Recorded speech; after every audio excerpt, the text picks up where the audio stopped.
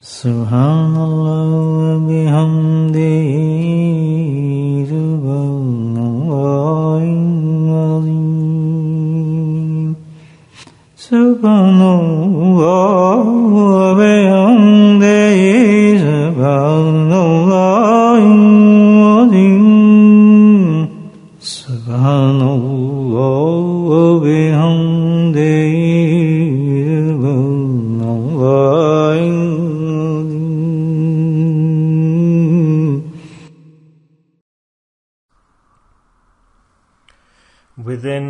our life in this dunya, it is our experience that in this dunya, in the world, any type of disaster, if we take any type of natural disaster that occurs, for example, we have an earthquake or a flood or a storm or dangerous hurricanes and winds and rainfall, torrential rainfall. We see these things happening in our lives, we hear about these things. And from these experiences, to save oneself from these, a person prepares or is cautious and is aware that may the flood not come, so we'll uh, put up some um, flood defenses or a wall, or for earthquakes, we'll design and construct buildings that are earthquake sort of proof, or we'll do other sort of precautionary actions so that we are protected, etc., etc. And the reason for this is that as soon as we hear about an earthquake, suddenly we'll think, oh, in that country an earthquake occurred, and we see with our eyes the effects, pictures, the buildings have fallen down, roads have cracked open, and electricity's gone, people have come to the roads, onto the streets, people fell into the cracks of the earth, and or they got buried under rubble. We've seen this with our own eyes, the destruction of an earthquake, and that's an example of a calamity. So our experience makes us alert and aware. We have the knowledge of then how to maybe uh, be saved from this in the future. For example, an earthquake happens, this will happen. If a flood comes, then the crops will die and there'll be destruction. We've seen this with our eyes. So we know in the future maybe what to do to minimize the loss. This is experience. This is not information, second-hand information or tertiary information or secondary information. These are things we hear, see, read in the paper. So to protect ourselves, we, we secure ourselves, don't we? For the future potential loss. But this, if we look at this, what we've just discussed, that this is um, not, you can say, permanent destruction, because the hereafter uh, destruction and loss, where we will end up potentially, then there, have we ever thought about the loss and destruction of the hereafter? That one sin, one sin, let's take a minor sin that we actually call a minor sin, but it's not a minor. What is its situation, its result in the next world when we get to that next world? What will be the reaction or the consequence of that sin? Just like we've seen the reaction of an earthquake, destruction, buildings fall, we get scared, fear, fear. So, one sin, now, if we take a sin, what is the disastrous consequence of that one sin? What's the destruction that will be earned through that one sin? What will be the loss through that one sin? What will be the darkness experienced through that one sin? That every human being, or, or human beings, who, or a human being who considered a sin as very small and minute, and then the abode that is earned by that sin, and the punishment that will be given, and the fire that will be burnt in, or kept, a person will be kept in that fire, then can we think, we cannot even think about the destruction earned through that one sin. Look at this point. Look at this point. So now, what, what do we have to think here? That it's easy, isn't it, to sin? That we're, we're scared of earthquakes, but we're not afraid of sinning or committing a sin. One sin. We are afraid of floods. We'll be scared of typhoons and hurricanes, but we're not afraid of sinning or committing one sin. If we all say this, that oh, we can see this from experience the results of uh, the, the calamities and human and um, uh, earthly destruction. But what about the experience of a sin? For example, if I sin, in front of others or on my own, then I don't see the effect, do I? I'll say, oh, there's no effect, so it's okay. But no, in reality, that when I, we, or somebody sins, we have more information about the results of sin than what I see in the world. Why? Because the Prophet of Allah, sallallahu alaihi wasallam, told us the consequences. Based on his experience, he said, if you do this sin, you'll get this punishment. If you do this sin, you'll get this punishment. If you commit this sin, then you'll get this consequence. Okay? But unfortunately, sadly, we do not trust upon the blessed words of the Prophet ﷺ. If we had yaqeen that there's such a big disaster, or the sin is a disaster, and the disastrous consequences, then we would never consider a sin as a minor sin ever again. We'd never imagine that, oh, I'll do a sin and it's okay, nothing will happen. No. Allah Ta'ala has given us an announcement, a big announcement with regards to sinning and the result of sinning. Big announcement. Allah subhanahu wa ta'ala called his mahbub, his beloved Prophet sallallahu to the heavens and showed the effects of sins. And Allah mentioned this in the Quran. So this is the reality that this was a big journey, spiritual, physical. Rasulullah's maqam elevated, increased.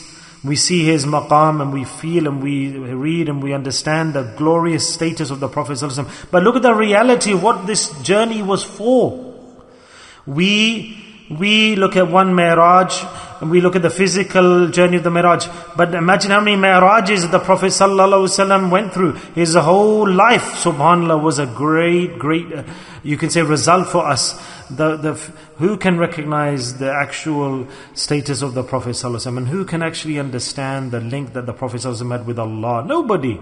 So this one Mi'raj that we have been told about, who knows what else is there? And if we start to analyze and look at the reality of this Mi'raj, then the signs and the lessons from this Mi'raj were the same that we've just discussed. The Rasulullah was shown the signs, the results of the sins. And the Prophet saw with his own blessed eyes that if a person sins like this, like this, like this, then the physical reaction and consequences of those sins were there for us to see. Isn't this Mi'raj? Nobody comes towards this from the, the lesson of Miraj. And this is the reality that the reason for the journey of Miraj was this. But we don't go towards that. We argue, no, did the Prophet see with his eyes? Did he not see? Did he go to this status? Did he reach here or not?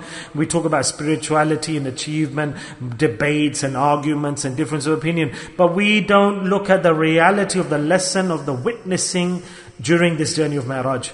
The hikmah, the wisdom of this journey was that the link connection of this journey Miraj, the reality of this journey Miraj was linked to the Ummah, the nation of the Muslimin. And this was the message from the Prophet ﷺ that I've seen with my eyes. It's not just wahi that Allah Ta'ala gave, but my eyes saw the results of the sin so that I could ex- exchange that information with you and tell you, educate you, O human beings, what is the result of sin. Just like when a person sees something with his own eyes, that's primary evidence and we protect ourselves. The same way we've got primary evidence of the Prophet we should be saving ourselves. Just like, for example, Rasulullah was on the journey of Mi'raj and he came upon one location.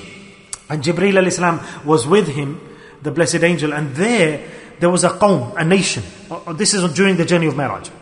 And the Prophet ﷺ saw a qawm, a nation, and what were those people doing? Or what was happening to those people? And the Prophet ﷺ stopped there, and Hazrat Jibreel is introducing in each stage, each position, this is happening, and this is happening, and this is happening due to this, etc. So Rasulullah saw a people, a group, an ummah, or nation and the hal, their condition was what? What did Rasulullah see? That there, and this will happen, my brothers, may Allah forgive, may Allah protect, may Allah protect, may Allah save us. That in hellfire, the figures, the appearance of human beings will be so horrible.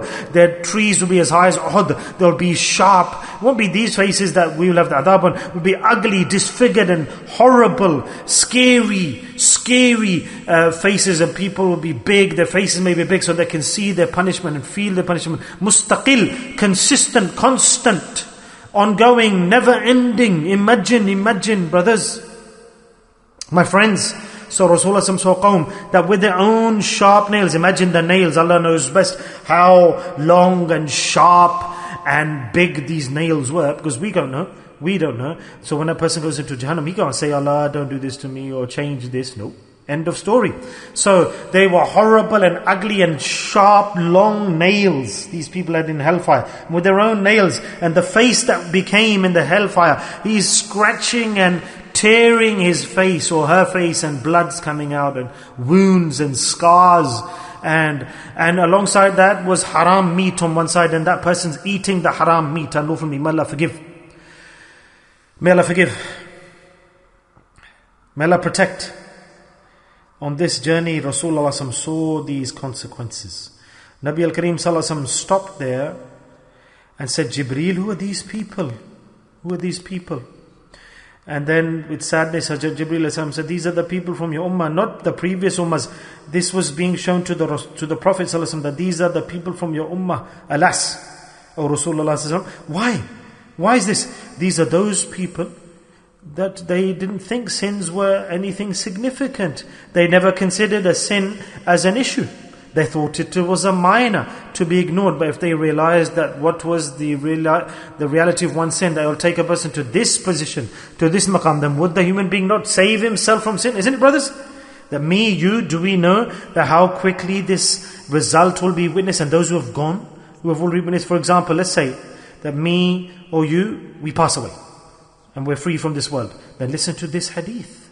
Where will we be? Where will we be? So this, this is the book, the story, the facts of life that should be inscribed on our hearts. That we are passing through a massive deception. Wallahi, we are passing through a massive deception. Those words that are according to the Quran and Hadith, if we insert them into our life, that for example, I'm sharing with you this event now. This scene, and if this sin is present in our life, and we do not eliminate that sin from our life, that action that can eliminate the sin, if we don't utilize that to eliminate the sin, and it's not that every sin is eliminated by salah or namaz or tawbah. No, some sins are not even eliminated via tawbah. For example, you can ask for tawbah in Ramadan. You can go to Masjid Nabwi and ask for tawbah.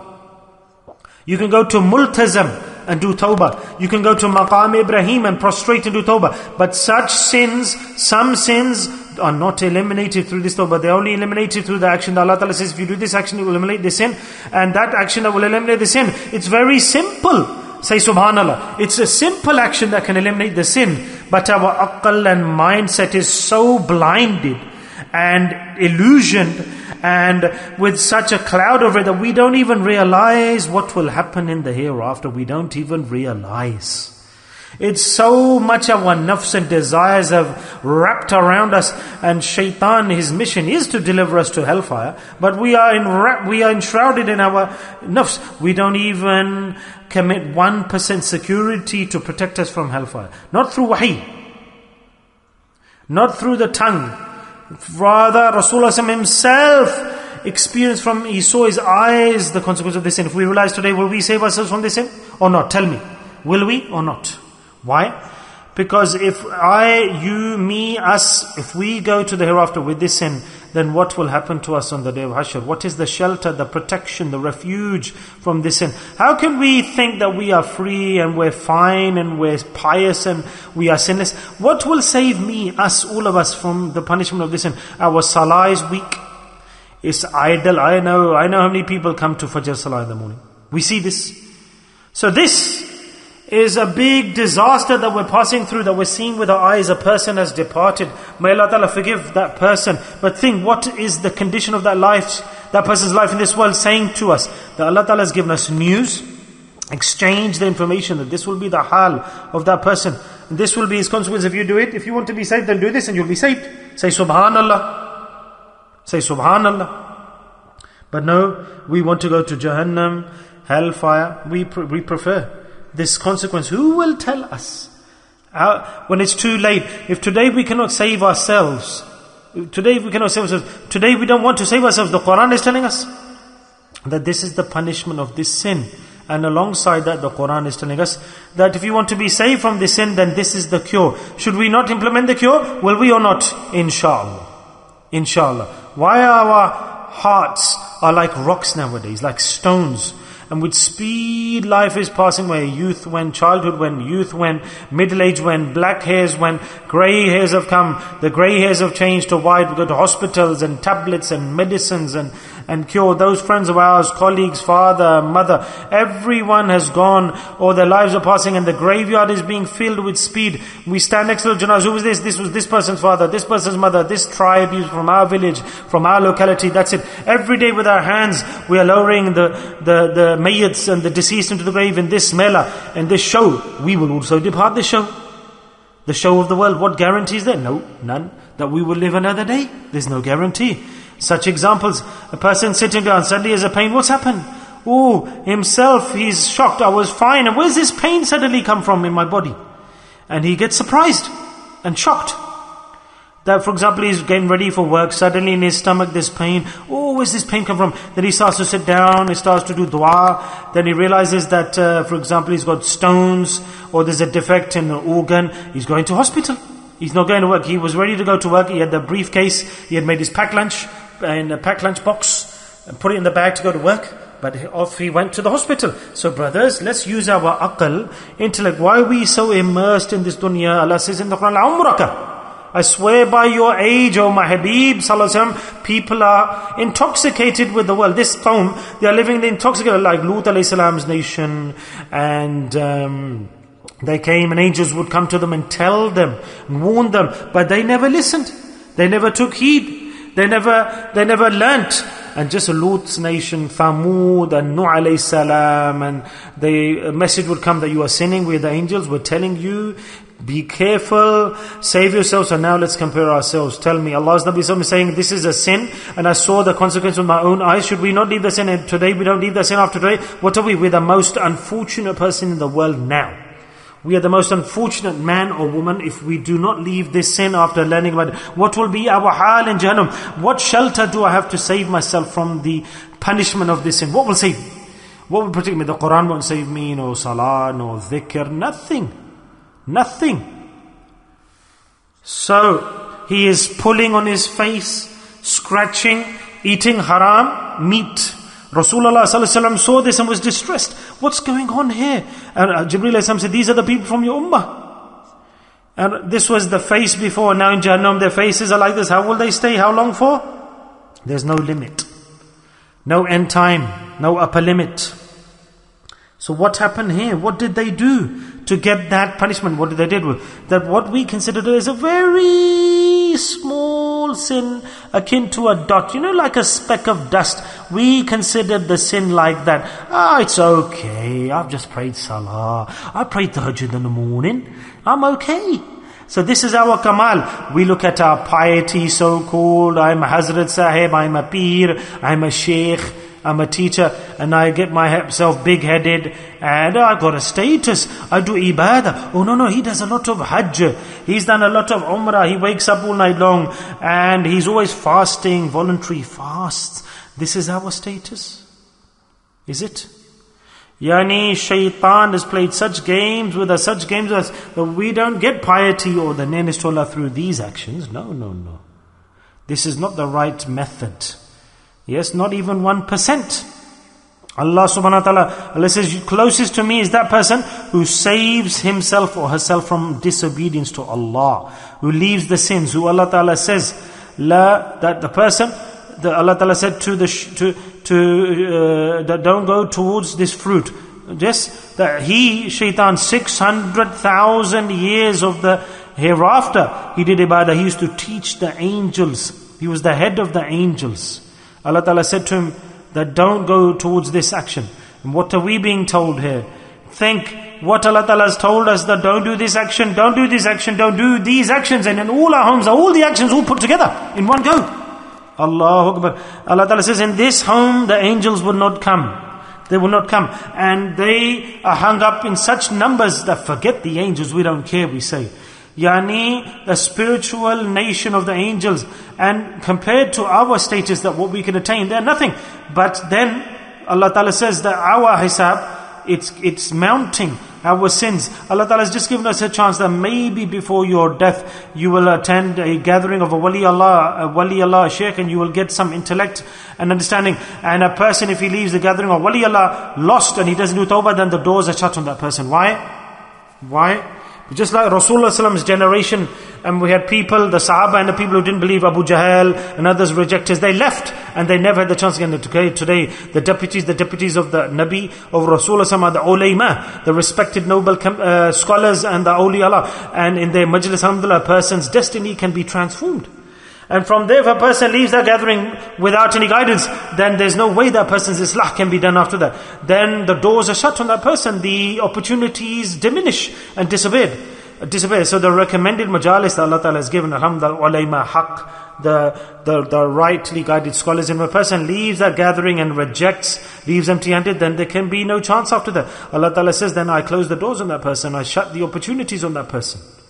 They are disappearing. So tell me, that us, me, all of us, for what things has Allah Ta'ala, has, what things has Allah Ta'ala told us to refrain from and all of those things we do from morning till night.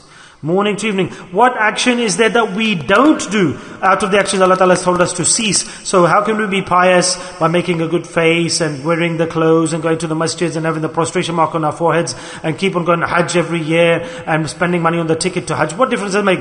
The kamal, the achievement is this, that Allah subhanahu wa ta'ala has told us to refrain from some things for our lifelong. We should not lift our eyelids to look at that sin and go towards it. This is the consequence of that sin. And the person who does this, Alhamdulillah, then most qareeb will be that individual who stops those actions, those actions that Allah Ta'ala has told us to leave. And we fall more into a trap. It's okay, I pray salah, I do dhikr, I remember Allah, mashallah, I do work of the deen, I do this, X, Y, Z, I'm forgiven, I'm pious. This is a massive deception. And before, behind us people, they encourage us. They push us. Push us and they they they make a person they blow him up. You're, you're, you're they, they, that you're you're big and your your deeds are big and your they they blow out of proportion the status of that person that you're pious. That everyone should look into their hearts. We should stand in front of the mirror, just like me and you. We stand and we comb our hair and we make our beards look presentable. Morning and evening, we look in the mirrors in our faces. We should look at our nafs, our desires, and see that what bad actions is our nafs making us do, and how many of Allah's ahkams we disobey morning till evening. Don't look at your salah. I shouldn't look at my prayer. I should look at the sins that I'm committing. And due to the sadaqah of leaving sin, I'll be accepted. Our Hajj, Salah, uh, they're not on the rank that they should be. So if I leave the world in this way, that I have not disobeyed Allah, that Allah has ordered me, I have not rejected Allah, I swear by Allah, that even my broken down Salah will be accepted and Allah will send us into paradise. That's how Allah will be pleased with us. Allah is pleased with those things that this is my servant who did not disobey me. And whoever doesn't disobey me, he doesn't disobey me due to one thing that he didn't disobey me. He's done it due to one reason that he hasn't disobeyed me. And what is that? That in his heart was the khawf, the fear of Allah Rabbul Alameen.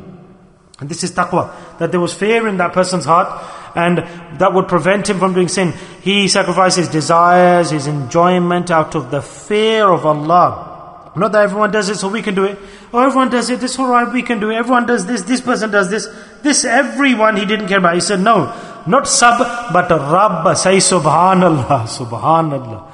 That he didn't say sub, he didn't say all, he said Allah. Now tell me, has Allah said this or not? Is Allah displeased with this? He is, so then I'm not going to do it. Then I will see which woman complains, no, no, no, this day and age, how can we do parda? Can we be shielded? Then I'll see that their life, will it come, the coolness and will the fussiness disappear or not? So these experiences that Rasulullah tell us about this sin, imagine this experience uh, coming back to that incident. Let's take for example, look into your hearts and do maraq about two minutes, then me and you, are we committing this sin or not?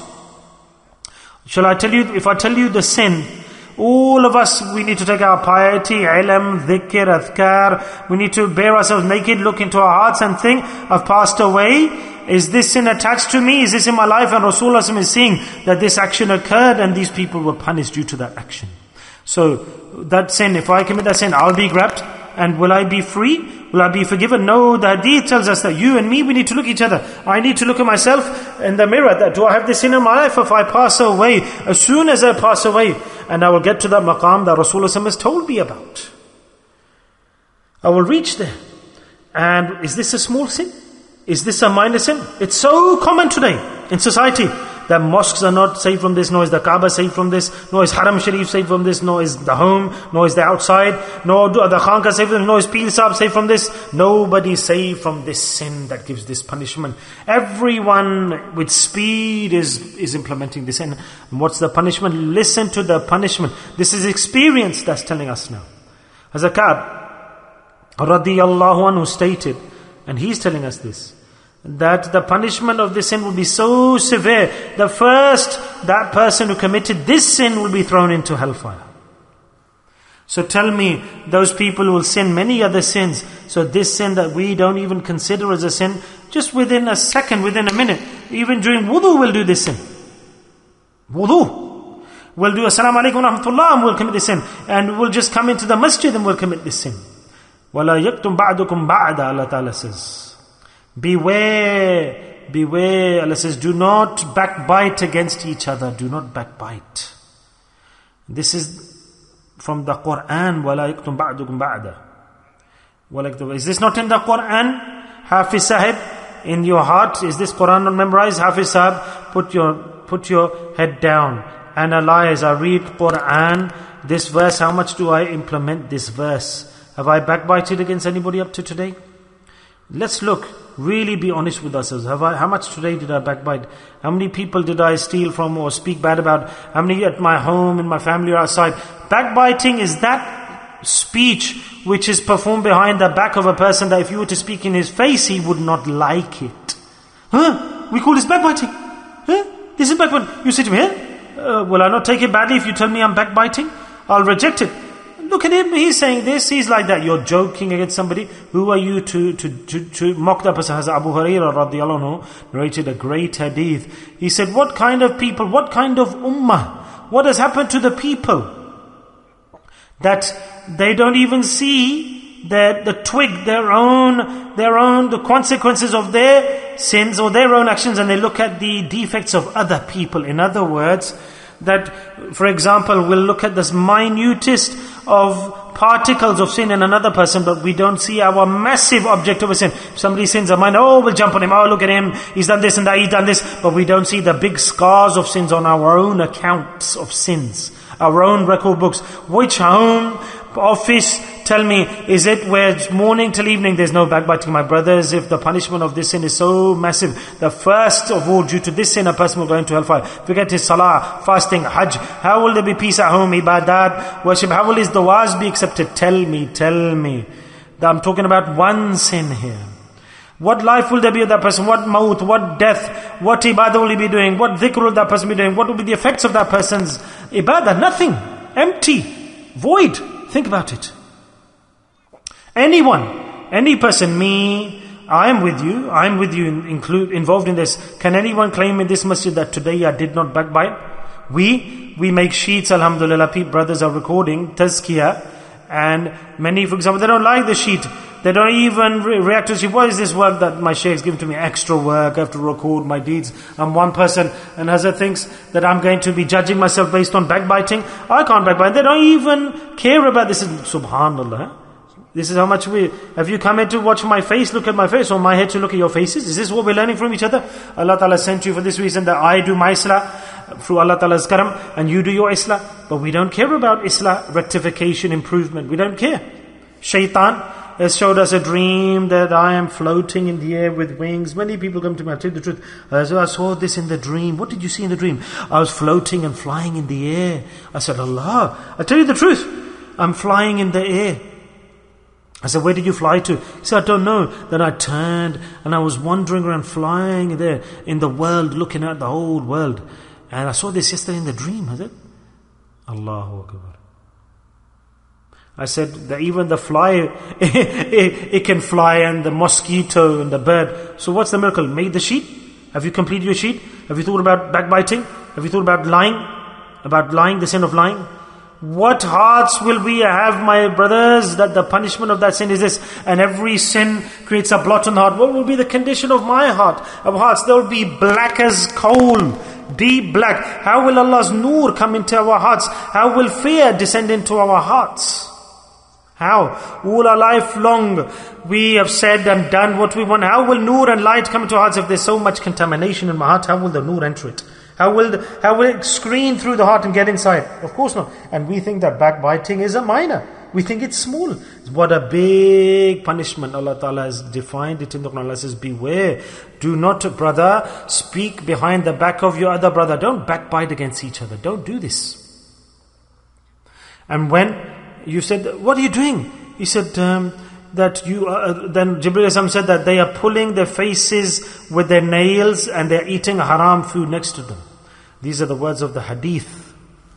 Allah's Nabi said that why are they like this? Because the reason for this was subhanallah, that they got used to or they didn't care. In the world they used to do this sin. So here there's nothing new for them. There the Quran told them that the deceased brother of yours, you're consuming his flesh of your real brother if you're backbiting. So if a person consumed flesh of his, of his brother in the world due to backbiting, then what will be his taste on his tongue? What will be the nur in that person's heart? What will be the condition of that person?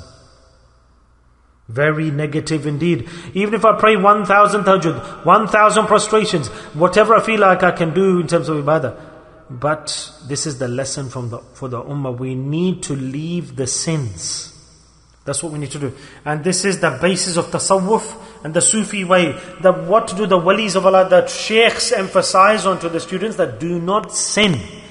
Do not sin. This is the emphasis. Hazrat Fazal Ali Qureshi rahmatullah alayh, great sheikh, and he, uh, he, one of his khulafa, Hazrat Abdul Malik rahmatullah alayh, And there was Hazrat Khanqah, Hazrat Fazal Ali Qureshi's Khanqah. It was in the wilderness, a jungle, a river passed by, and there were different trees, different trees. And Hazrat Khanqah was there.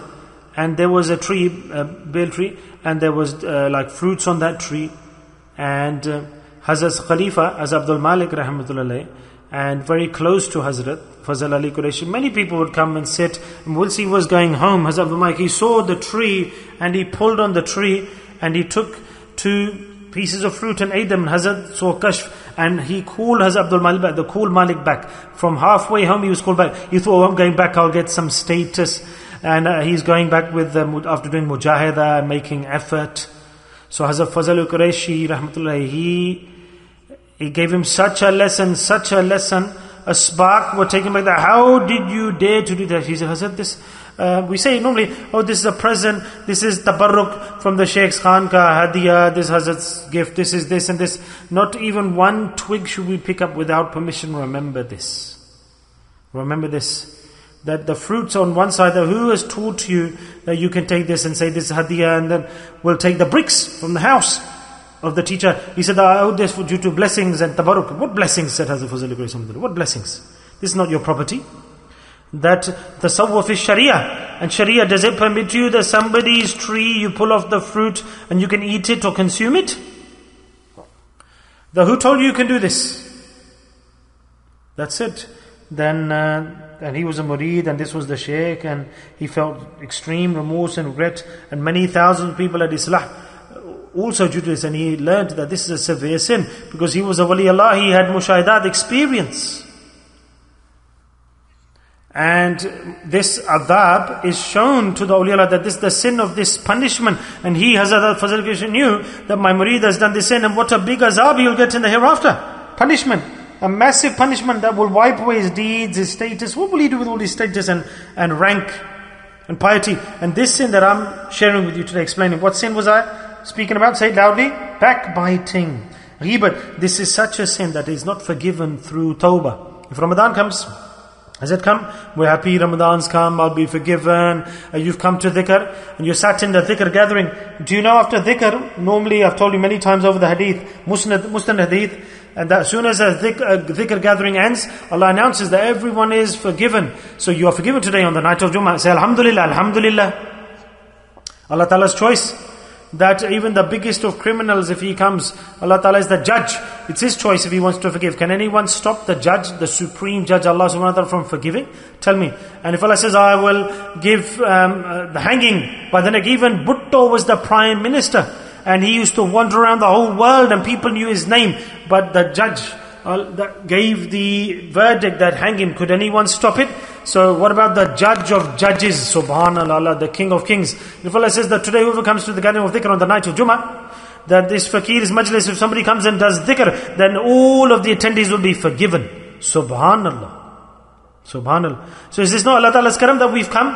One person just came now, five minutes ago. He's forgiven as well, mashallah. Yes, congratulations to him that in his destiny was forgiveness. So he came and he's forgiven. He's sitting here enjoying himself. Somewhere before he must have been counting or something. But Allah's karam, Allah's mercy. Whoever he gives his karam mercy to, that's fine. Allah's choice. Is there anyone who can challenge Allah Ta'ala's love? It doesn't come free of charge. And some people, many that are out there who consider themselves pious and great rank, Allah stop them. You cannot go to this gathering. Not in your destiny is forgiveness. And Allah Ta'ala doesn't allow that person to come to the dhikr. Doesn't allow. So on such points, on such actions where you get a big reward, that should we not be grateful? Should we not run to such gatherings? Of course, of course we should. We should be saved from such places. Think for a moment here that we are sinful to such an extent that we should get such a place that for within seconds we should succeed and we should leave that place and run to the fountain of mercy so this is what only the person who doesn't have pride will not be given forgiveness. The person who has pride and kibr, that for example the river is flowing past him and he says, oh I don't need that river, I'm pure, I'm clean, I don't need guidance. No, no, I have no need for this guidance. That person will say, big headed, let's look towards our life. And we say, oh, we don't have time. Look, do your own dhikr. Tell me, how filled with pride will that person be? And the, the Rasulullah told us about the pride of, uh, the sign of pride, and imagine the punishment waiting for that person. That within this hemisphere, in such a place where things are hard or impossible, and such an amal has started that we cannot imagine such a gathering, such a majma, and only the dhikr of Allah solely, purely, and who is doing this dhikr of Allah? Everyone. Who? Tell me. We are. Allah will give the result so that we can come and we can get forgiveness because this is the day and age of sin. We are in a bad condition. Allah Ta'ala doesn't want for the Muslim to go to Jannah and it's written in destiny, he's got this many days left, this many breaths left. It's written, recorded. Allah says, my karam that I want to forgive you. So I create such a gathering. And what have we done? We haven't struck the arrow on the bullseye. We think, oh, I'm going to do dhikr. Will our dhikr be so great and uh, full of effect? No, the whole universe is doing Allah's dhikr. Allah's king, Allah is the king, the king of kings, and the ant is doing dhikr, and the leaf is doing dhikr, and the speaker is doing dhikr, and the microphone is doing dhikr, and the carpet is doing dhikr, and the ceiling is doing dhikr, and everything here is doing dhikr. There's no particle in the universe, the whole universe to the 70 levels within the crust of the earth, within the, uh, the ocean's levels, a small fish will be doing dhikr of Allah. What's my dhikr and your dhikr? Nothing. It's just the excuse for Allah Ta'ala's rahmah. Allah says, recite my name for a little while with love and I will forgive these human beings who attended this gathering. Doesn't matter what they've done before that. Doesn't matter what they've done. Say subhanallah, subhanallah. That's it. This is the point. Look Allah Ta'ala's rahmah. So my brothers, that such a big sin that it won't be forgiven through tawbah. Backbiting. We cannot do tawbah to get the, the punishment uh, reversed. Only will this sin, the punishment be cancelled if I go and grab the ankles of the person a backbiting. And imagine you dislike the person, you're saying bad about the person, you want to be safe from the adab, then go and put your hands on the ankles of the person that oh, I've made a big mistake. And he's telling, he's informing. This is that same sin. For example, a woman has done zina, zina, and her tawbah after tawbah, that zina punishment, uh, the, the sin will not be forgiven. As long as her husband does not forgive her, that I've forgiven you. Subhanallah. So this is a, an action worse than zina. And how easy is it today? Within a second. Second, uncle, mamu, mother, father, everyone we grind their name down into the dust. Today, after today's promise, tonight is a great night, night of Jum'ah. We should try our best. We will try our best, inshallah. We should exclaim that why are we sinning openly, flagrantly? What benefit is given us? That ask, uh, for example, to speak about somebody who's a brother. Why do we need to use our tongues to speak ill? Or why do we interfere in someone's matters? If someone's good, he's good. If he's bad, he's bad.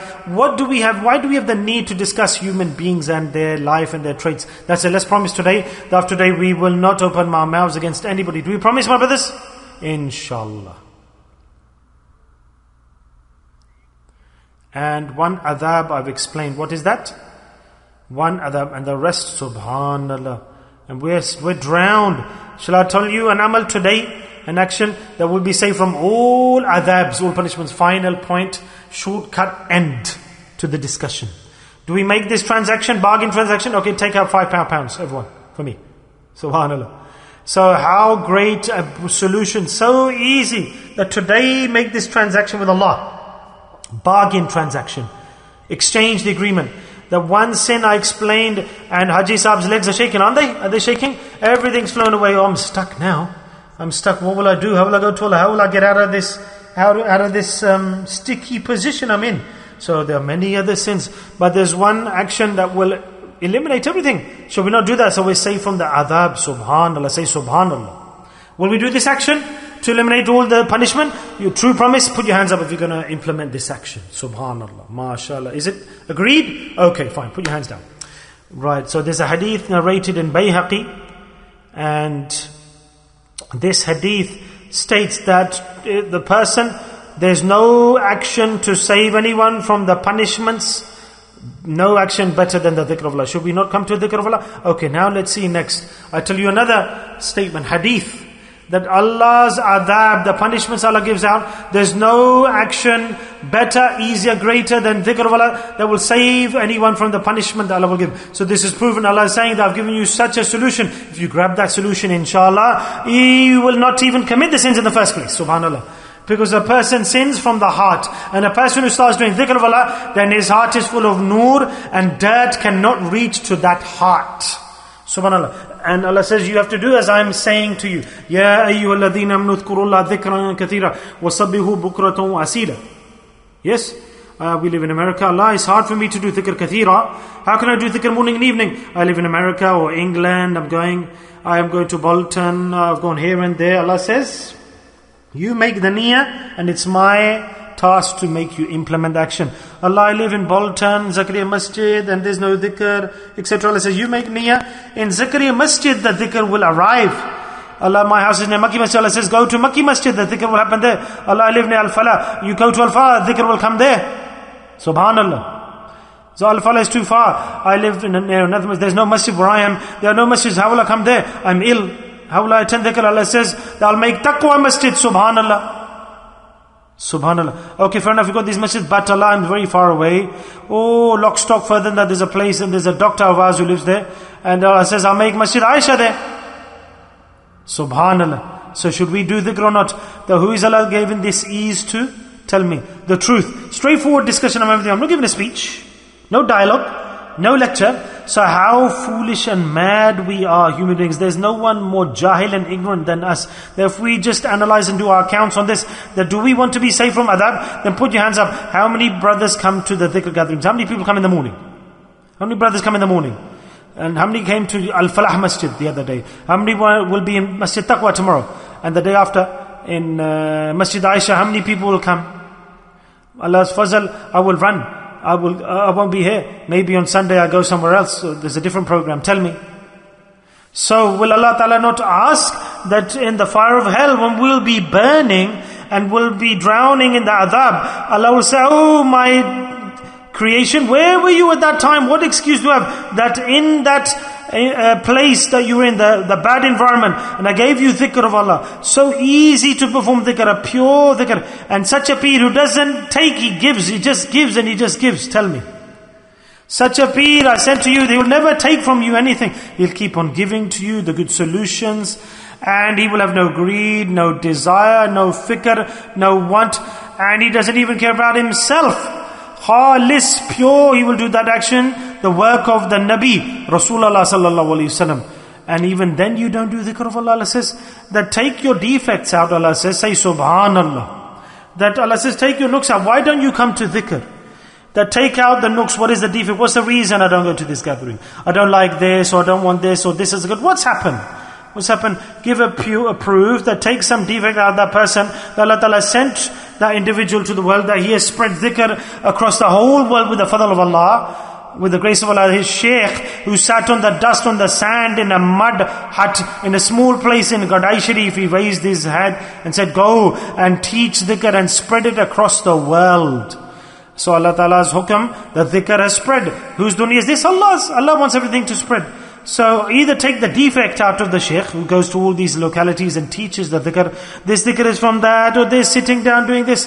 Even today I heard as a Maulana uh, Taqi Muddaz said an ajib and unique thing. I'm quite surprised. He stated that dhikr majalis gatherings of dhikr of our aqabirin who did dhikr that there is no limit to this. There's no principle of these gatherings. Underlying principle.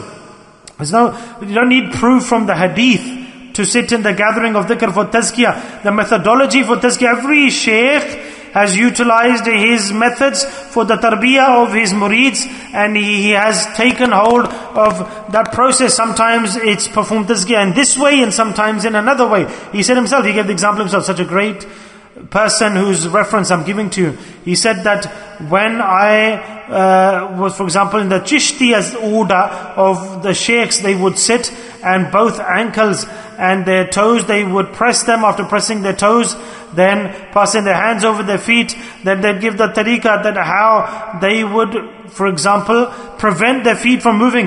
Then after that, they would suppress their desires and their nafs and do their islah. Has anyone got any proof of this from the hadith, this method to have? Why is this bid'ah then? Why do we say this is bid'ah? So in reality, the point here is this, that shows such an action. Now Allah Ta'ala said, do dhikr. Allah says, do it openly. Openly, freely. So Allah Ta'ala has not put any pre-restriction on the action of dhikr for the sake of dhikr. And the Mashayikh Kiram, the respected Mashayikh and the Walis, they have with their standard and their method have taught their students what is Islah, Tazkiyah. So here for example, there's a speaker here, isn't it? Yep. And then the time of Rasulullah was there speaker. So then how did the word get um, communicated and spread out far wide? Uh, for example, you're listening here, and in the whole world, the people in the world are listening through this. Is this bid'ah? So as time passes, as the generations progress, the foundation point is the same. But Allah Ta'ala says the effect or the physical form for tabligh can change. And Allah says, according to the need of the society, Allah Ta'ala sends mashayikh in those localities to reform the human beings. Do you understand? Yes. So I ask the same question. What's happened to us people? Such a great lesson today. That do we have any other solution or potion or magic potion? Allah says, do dhikr the way I have prescribed to us. Allah said, Allah says, do dhikr kathira. What is dhikr kathira? Dhikr in the heart. So do you not get this from here or not? Tell me. You get dhikr kathira, dhikr in the heart, then why don't we do dhikr of the heart? So why do we run away? Number two. And then Allah says, do dhikr kathira. And Allah says, do it morning and evening. Allah says, Allah not uh, prepared morning evening. Alhamdulillah, Alhamdulillah, Alhamdulillah. Praise be to Allah. Allah's thousands, hundreds of thousands, millions of times over shukr that we have not left any morning dhikr up to now. Subhanallah. Subhan. Then, then, so who will we blame on the day of judgment? We live our lives and sleep like donkeys and speak nonsense that don't feel like it and make excuses. We are challenging Allah subhanahu wa ta'ala. Tell me, that has Allah Ta'ala put any restriction on dhikr? That this is the restriction, this is the reason why you shouldn't come. There's no restriction on the amount of dhikr to do. Subhanallah. No, it's from our own limits. We speak nonsense and rubbish and put an upper limit on it. Then how will we be safe from the adab? That Allah has told us that whatever you do, whatever there is, at least sit in the dhikr of Allah. Allah has promised that I will save you from adab. So He knows, Allah knows better, and Allah knows that how through dhikr, how Allah will take the, for example, the love of dunya to our lives and speaking nonsense, bone idle talk, ghibat. Allah will eliminate these sins from our lives if we do dhikr. We don't know the effect, Allah knows the effect. Our job is to start doing dhikr. And I know that I will be presented in the court of Allah. I say to myself, Allah, I say, Allah, you promised to me. You promise that if I keep on doing dhikr, then you will prev- you will save me from adab. So why Allah, you show me adab. Allah have yaqeen in Allah. Allah will say, you are honest, you are truthful, go to Jannah, go to paradise. Subhanallah. Whatever I did, you continue to do. Subhanallah. The rest is my job to save you. I promise to you, Allah says. So brothers, look at this, how great a point. Will we do dhikr? Inshallah. The, mas- in the masjid in the morning should be full of, of dhakirin, isn't it? We're going to pass away. And there's no bigger idol than this. Or either we sit down numb and forget about everything and, and await the punishment. So this is not a speech. This is not a lecture. I was just touching on the hearts of the brethren, on our lifestyle, on our destinies, on our thinking. This is the difference in this discussion. This is the difference in this majlis. Every point should go and pierce your hearts and all of our hearts. Because Allah Ta'ala wants to save us. That's it. So Allah Ta'ala has opened a path. Do the dhikr of Allah. Allah says, remember me and I'll save you from the adab, from punishments. That's it. We stood there. We said, love what you said, we've done. And Allah says, I will save you from the punishment, from the adab. Allah, we can see we're on the bank of Jannah. Please show us the way out. Show us the way out. Allah will say, no problem. Fine. Then we see hadith that justify this point. May Allah Ta'ala give us all the capability and capacity and tawfiq wherever we head. Look, it's so easy for us, subhanAllah. The haq should be this, that, brothers, for example, for us, it looks like a mountain. Then, for example, if even dhikr is being done on the top of Mount Everest, we should reach there. This is the haq. We shouldn't be afraid of adab or severity. And we're in Bolton, how will we go there? Oh, it's just a 15 minute drive, 10 minute drive to dhikr. The nice car, time is suitable. We have the whole system. What's the reason we don't do dhikr? Nothing. There's no reason. We just don't do it. Just shaitan advising us. So this is the adab of doing the wrong actions. So my brothers, let's not be negligent and lazy from today. Make a timetable of life of the day that now I'm going to do this action. Dhikr is on this day and this location. Dhikr on the next day in this location. Do dhikr with happiness and openly and say to Allah, Allah, I am weak. I'm weak and the dunya today is very weak and I'm wrapped by dunya. But Allah, your shukr, I'm grateful to you. You've given me such a bathing place. Every majlis, morning and evening, morning and evening. Morning and eve, we, if we go to every majlis, then how many majlises does that make in a week? Tell me my brothers, I don't know how to count.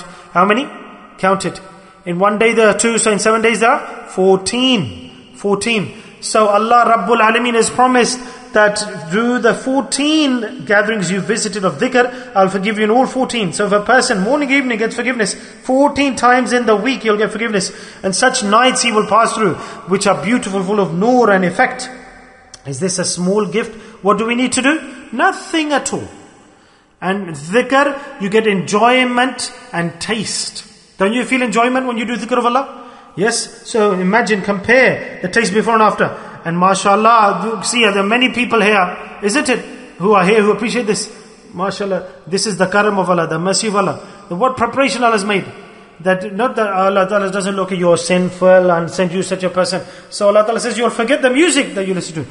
You'll forget there'll be a tune and He will make you must and He will make you enjoy it. So a person forgets all music Every single thing is taught with every kalima, the beautiful melody of the, the, the dhikr that we perform. And every day it changes. The Allah Ta'ala gives a mood and then that uh, style comes out in the dhikr, subhanAllah. So what else do we want? What else do we need? So will we come from now on? There can never be better preparation this to save ourselves from uh, punishment. There's so much music today. People love music, isn't it? Allah says, hey, look here. I'll give you the alternative solution. Do the dhikr of Allah, recite the Rushif with such a melody it comes out. Doesn't it? comes with a beautiful melody, rhythmic. Everything Allah Ta'ala completes nice for us. But we don't want to be human beings, good human beings. We want to stay as monkeys and burn. After today, don't be lazy, my friends.